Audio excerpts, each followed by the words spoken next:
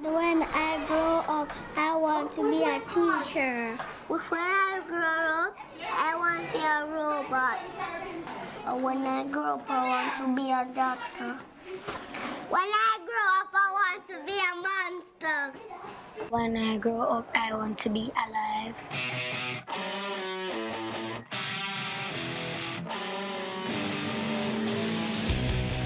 Behind the beautiful tropical beaches of Jamaica is a nation deeply troubled by violence and crime. The gunman shot the father and mother. With the second highest rate of gun killings anywhere in the world, communities live in constant fear.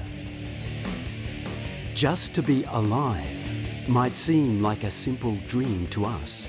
But for many of Jamaica's youth born into the ghettos, they know the chances are high that they will not make it past their 30th birthday.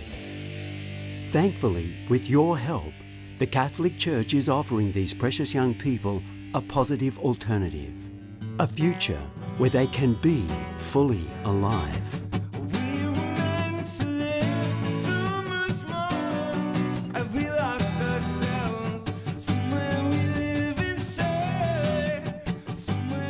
These are the little girls who come and play around. Sister Teresia Tinanisolo is a Fijian Marist missionary sister living and working in Mount Salem, Montego Bay.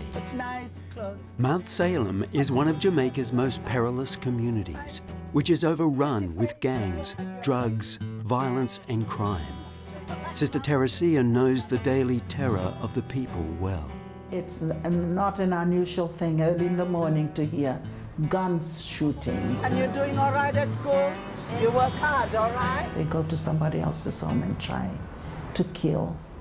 And uh, so life becomes very cheap here. And I feel I'm a prisoner here day and night. In the midst of the constant danger and threats to her life, Sister Teresia gains strength from her faith in Jesus to live out her calling to reach out and give life to those in desperate need.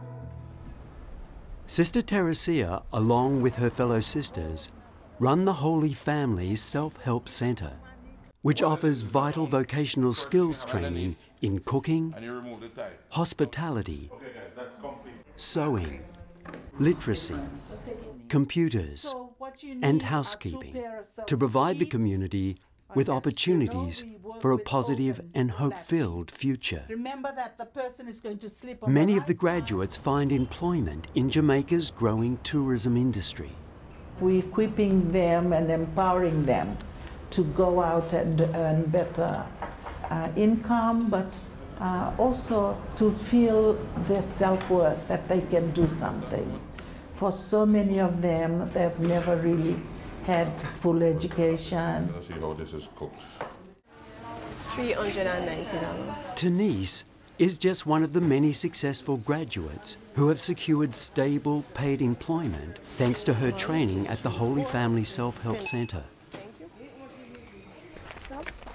Denise and her husband Paul are now desperately trying to save so they can move their three children away from their squatter's home in the Mount Salem ghetto to a much safer neighborhood where they don't have to live in relentless fear for the safety and future of their beautiful children.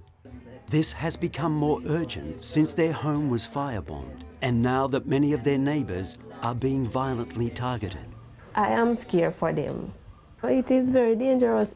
You have kids and uh, gunshot can catch them. My God is awesome. Sometimes you have guys that want to target your girls. I do not want my little boy to grow up to be a gunman either. You can't sleep in the bed, you have to go under the bed. Yeah, right back here, lot of gunshots. Hours, gunshots, gunshots, gunshots. Having lived his entire life in this ghetto, constantly struggling against the lure of destructive influences, Paul is a living testament to the vital outreach work of the Catholic Church. He believes that against all odds, the Church has helped their families stay together and choose a better path in life. Without the support of the sisters and his family's strong faith, he believes he would most certainly be dead like many of his childhood friends. So I'm just say if it wasn't for sisters, I would die a long time ago. With the everyday prevalence of violence, it is easy for children here to mirror the same behavior. Sister Teresia is desperate to break this cycle by also offering non-violence education to the youth in the community. Children don't have any role models. All they see is that the violence that goes on. And so if they themselves are trained and to be able to know that it is wrong to kill, to steal, to uh, fight and to bully, that it would help the, the general community and prevent uh, a lot of killing that are, are necessary. We want more to offer.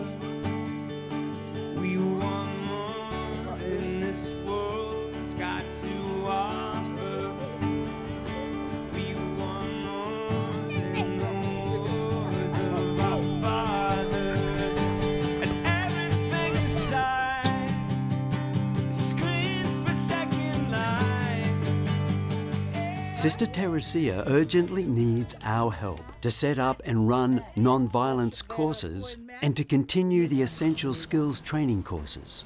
Together, these will have a huge impact on providing a positive future for the youth in the most desperate areas of Jamaica. Your gift today will also support the work of missionaries like Sister Teresia, enabling them to reach out and offer vital practical and spiritual support to communities in desperate need. I urge you, please help the people of Jamaica and other struggling communities across the world turn away from violence and crime. Help them today to seek a new future through the power of education and the Spirit of Jesus Christ. Together, we can help the youth of Jamaica fulfill their dreams, to grow up, to be fully alive. All I want for the future for them is for them to have a good education and to live a better life. Chanel, she wants to be a teacher when she grow up in the future. And Rolando, he wants to be a police or a soldier. and Monique, she don't make up her mind yet, but she, she said she wants to be a friend.